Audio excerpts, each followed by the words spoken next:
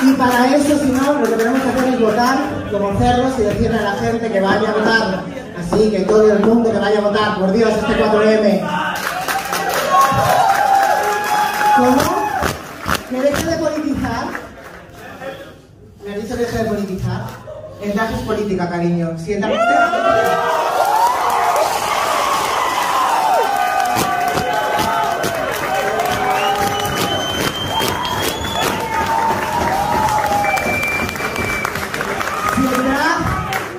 Si el drag, no fuera política, a día de hoy seguiríamos metidos en los armarios y con un triángulo rosa.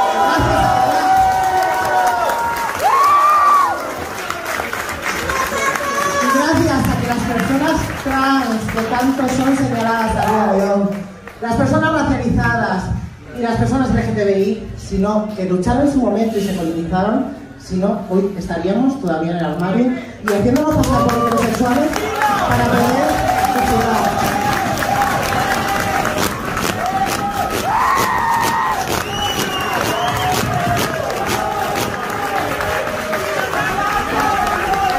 Y yo no siento mucho, pero si no os gusta el drag político, no vengáis a mis shows.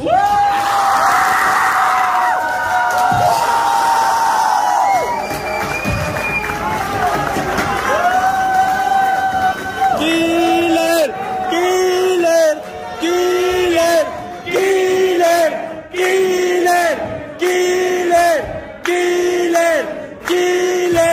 killer.